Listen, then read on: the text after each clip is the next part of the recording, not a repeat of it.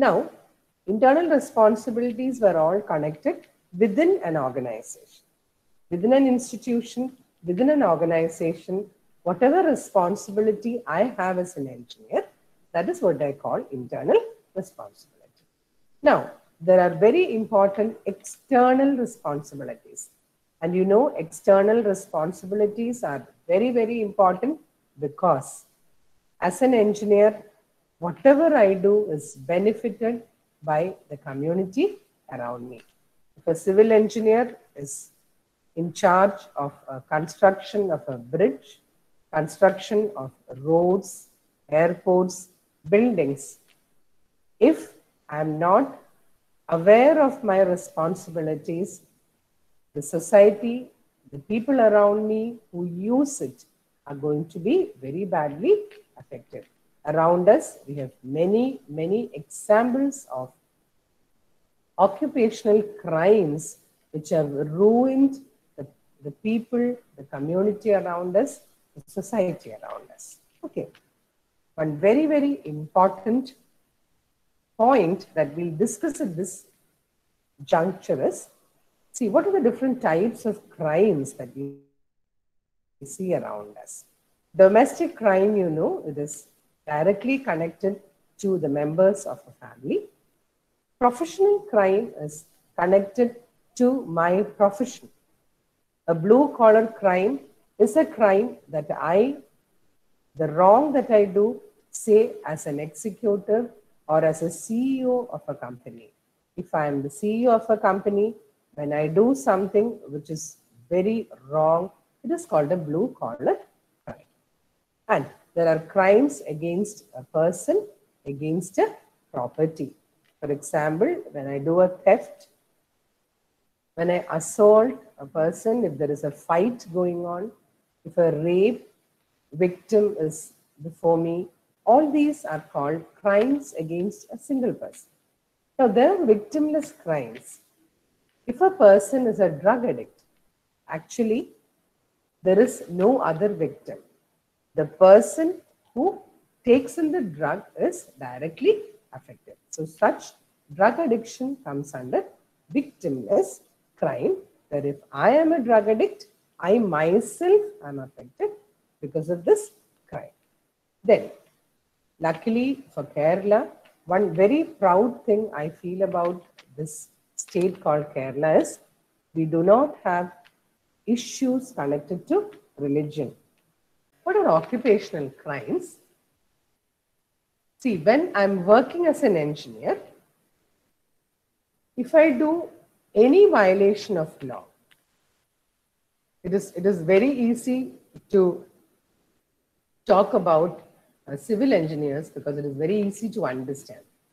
If I'm making a bridge, if I'm not using the proper amount of uh, iron, steel, uh, brick, everything that is required, concrete.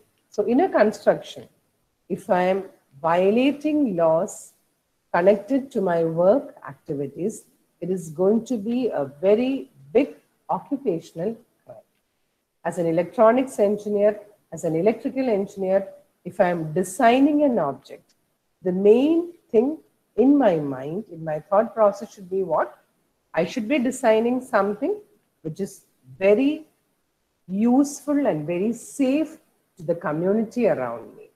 Whenever I design something, I should be aware of what I'm making and who is going to use that product. Excuse me.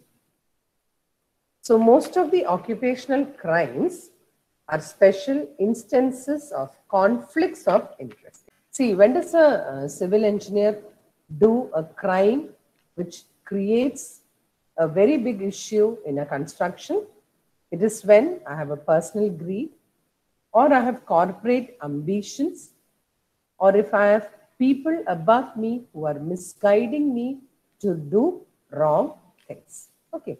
So occupational crimes are very, very important, which we should be very seriously telling our students because the future engineers, they should never be doing this because if they do an occupational crime, directly it will be affecting the society around me. So one is price fixing, endangering lives, and industrial espionage. See, what is price fixing? We, we might have heard about the 1983 Washington Power Bid. See, there are cases where competitors come together and they jointly set up a price. This is called pricing cartels. Actually, what is happening, you know, we are fooling the people around us who are using that product. So this is called price fixing. Laws have come up all around the world which forbids companies from coming together from jointly fixing prices. When an object is, when a product comes out into the society, we should realize that it should be reasonably priced so that the common man will be able to use it positively. So one big occupational crime is price fixing, which as an engineer, we or the future engineers whom we are teaching today should never. Now, what is endangering lives? And that is a very clear thing that I have been talking about. If a civil engineer does a construction, the building, the roads, the airport, the bridge, everything is going to be used by the people around me.